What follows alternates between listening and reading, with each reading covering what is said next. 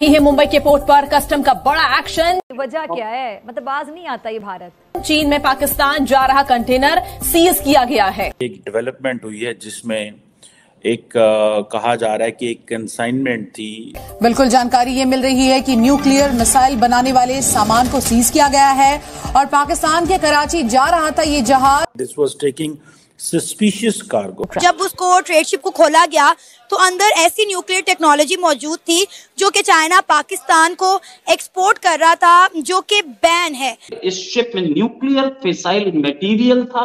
अब इंडिया कह रहा है कि हम इसको जो है यूरोपियन यूनियन के सामने रखेंगे कि चाइना पाकिस्तान को वो टेक्नोलॉजी भेज रहा था जो कि लेकिन क्वेश्चन ये आता है कि जो चीज़ें इंडिया कर रहा है क्या पाकिस्तान नहीं कर सकता?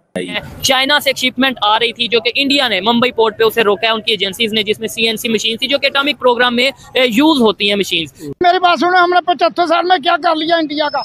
बताओ क्या किया कुछ भी नहीं चार जंगे हुई है हारेंगे न्यूक्लियर बॉम्ब में भी यूज़ हो सकता है। इसको नवशेवा पोर्ट पे रोक लिया गया। न्यू- हमारी इंटेलिजेंस ने बहुत अच्छा काम किया। क्या समझते हैं कि हम आज भी एक तो इंडिया चाइना के बगैर कोई प्रोजेक्ट नहीं कर सकते? बिल्कुल ये मैं आपसे पूछने वाली। पाकिस्तान जो है वो सारा टाइम सफाइयाँ देता रहता है नहीं जी हम ऐसे हैं तो हम वैसे हैं। इंडिया सारा टाइम ऑफेंसिव लगा रहता है। ये समझता हूँ कि जैसे इंडिया की ग्रोथ है ना एटॉमिक में या एजुकेशन में उससे हम तकरीबन फिफ्टी ईयर्स पीछे हैं मेरे ख्याल से। पचास साल पीछे पचास साल जो है ना हम पीछे हैं।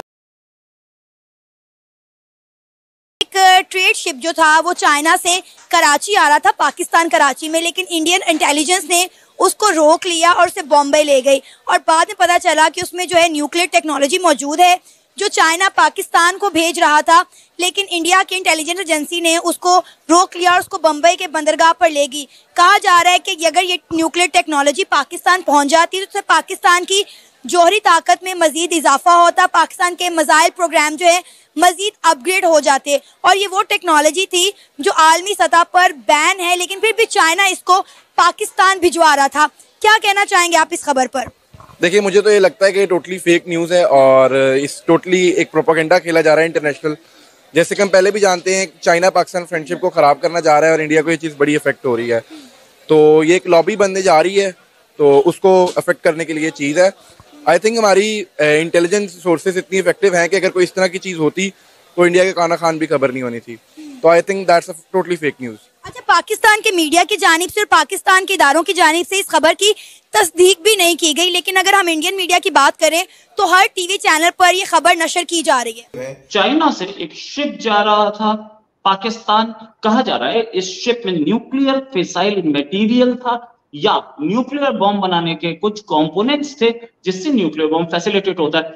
साथ में ये ड्यूअल यूज़ के मतलब ये सिविलियन यूज़ में भी हो सकता है और यूज़ हो सकता है और न्यूक्लियर बॉम्ब में भी यूज़ हो सकता है। इसको नवशेवा पोर्ट पे रोक लिया गया। हमारी इंटेलिजेंस ने बहुत अच्छा काम किया, जैसे गवर्नमेंट ऑफ़ इंडिया की क्लेम है मतलब ये खबरें हैं गवर्नमेंट गवर्नमेंट ने अब तक कुछ नहीं क्लेम किया। खबरें हैं कि बड़ा अच्छा काम किया और इसकी अभी भी जाँच जारी है। पहली बार नहीं है। कि चाइना का कोई कंसाइनमेंट रोका गया है। मोदी है तो मुमकिन है, बहुत सारे मोदी भक्त ये बोलते हैं, लेकिन इससे पहले भी हुआ था पर मनमोहन सिंह के टाइम पे, जब एक प्लेन दुबई से चाइना जा रहा था डिफेंस इक्विपमेंट लेके जा रहा था, उसको कोलकाता पे लैंड करा दिया गया था, और वो कई दिन तक वहाँ पे खड़ा था। इससे पहले भी कुछ मिसाइल जा रहे थे पाकिस्तान के कराची की ओर, चाइना से सॉरी कोरिया से नॉर्थ कोरिया से, उसको भी रोका गया था। उसमें कहीं सिंगापुर से चीनी चढ़वाई गई थी, ये सारी कहानियाँ वो पुरानी है, लेकिन अभी की कहानी पे हम बात करें, क्या चाइना ये बोल सकता है कि इंडिया हमारे ऊपर इंटेलिजेंस कर रहा है और हमारा सामान ब्लॉक कर रहा है? सर, चाइना तो कुछ भी बोल सकता है अब चाइना के बोलने पे हम लोग क्या ही कह सकते हैं, ठीक है ना? बट अब अगर उनका ये क्लेम है कि कोई ship from China to Pakistan stop at Mumbai तो ये एक फैक्चुअल इंक्वायरी का मुद्दा है कि उसमें क्या क्या चीज़ें थी। और फिर जो कस्टम्स ऑफिशियल ने किया होगा, वो किसी इंटेलिजेंस इनपुट पे ही किया होगा। ऐसे तो करेंगे नहीं। रोज भारत कुछ ना कुछ इंटरनेशनल वाटर्स में ऐसा कर रहा है जो कि obviously that is concerning for Pakistan लेकिन पाकिस्तान की खामोशी और साइलेंस की मुझे समझ नहीं आई। और अभी हुआ ये है कि एक डेवलपमेंट हुई है जिसमें एक आ, कहा जा रहा है कि एक कंसाइनमेंट थी कमर्शियल कंसाइनमेंट जो कि चाइना से पाकिस्तान जा रही थी। और इंडियन कमर्शियल जो कस्टम ऑफिशियल्स हैं उन्होंने उसको इंटरसेप्ट किया। एक माल्टा फ्लैग्ड मर्चेंट शिप थी। उसको इंटरसेप्ट किया जो कि कराची आ रही थी। और कहा जा रहा है इंडियंस कहते हैं कि this was taking suspicious cargo that जिसकी वजह से वहाँ पे उनको अलर्ट हो गए। और फिर इंडियन अथॉरिटीज़ ने उसकी इंस्पेक्शन की है। और और ये इंडिया कहता है कि ये जो हमारी इंस्पेक्शन थी, इसका मकसद ये है कि जो illegal transfer of dual use military grade items to to Pakistan है। अब इसका मतलब ये है what what is basically they're saying मैंने मैंने, मेरा मास्टर्स न्यूक्लियर नॉन प्रोलिफरेशन में है तो थोड़ी सी मुझे इसकी समझ है। अब वो कहते हैं जी इलीगल ट्रांसफ़र है dual use military grade items to Pakistan इसमें क्या हो सकता है? एक तो ये है कि डुअल यूज़ मिलिट्री ग्रेड इसमें ये पॉसिबिलिटी है जो अब अगर for example if this consignment is true as the Indians are saying कि जी, ऐसी कंसाइनमेंट है जो मिलिट्री पर्पजेज के लिए भी इस्तेमाल हो सकती है और सिविलियन पर्पजेज के लिए भी इस्तेमाल हो सकती है। नौ पाकिस्तान फॉर एग्जांपल अगर ये कहता है कि पहला क्वेश्चन ये है कि चाइना और पाकिस्तान जो मर्ज़ी ट्रेड करें क्या किसी सेकंड कंट्री को इसके हवाले से क्या आपको पता है India nuclear non proliferation treaty का मेंबर नहीं है।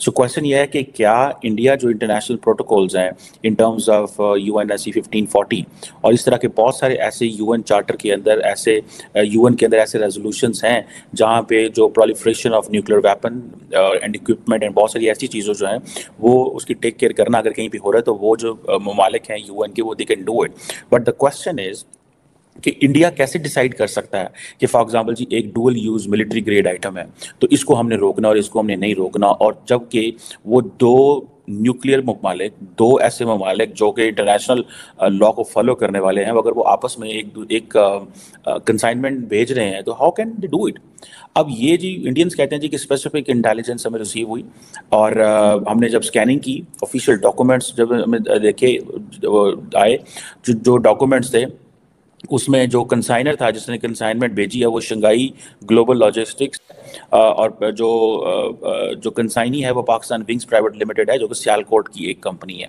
कहा जा रहा है कि जी, बाईस हज़ार के जी की कंसाइनमेंट है और पाकिस्तान विंग्स एक कंपनी है उसके लिए थी, और अब ये जो चीज़ है, इसके बड़े सारे एंगल हैं। पहला एंगल ये है India is doing it to make the western world happy America को कहेंगे, देखिए जी, हम, हमने इस वक्त जो इंडियन ओशन का जो कंट्रोल संभाल लिया है, हम जी नेट सिक्योरिटी प्रोवाइडर हैं। हमारा जी ताल्लुक जो है, वो पाकिस्तान, हमारा ताल्लुक जो है, वो दुनिया में और खत्े में अमन लेके आने के लिए। This is what obviously at the end of the day when you do it you do it for some purpose ना। आप किसी पर्पज़ के लिए कर रहे होते हैं कि क्या आपके हैं। एंड देन अगर कोई ऐसी चीज़ हो मिलिट्री के रिलेटेड कोई चीज़ होती, मेरी ज़ाती नज़रिए है तो फिर तो वो मिलिट्री शिप्स में आती। ठीक है? या वो मिलिट्री नेवी के जहाज़ घूमते रहते हैं तो वो वहाँ से वो चीज़ उठाते और पाकिस्तान ले आते तो किसी ने क्या रोकना था? अगर कुछ ऐसी चीज़ है जो पाकिस्तान की नेवी की शिप के अंदर मौजूद है तो can Indian stop it Indians can stop it because उनको पता है इसके कॉन्सिक्वेंसेज होंगे।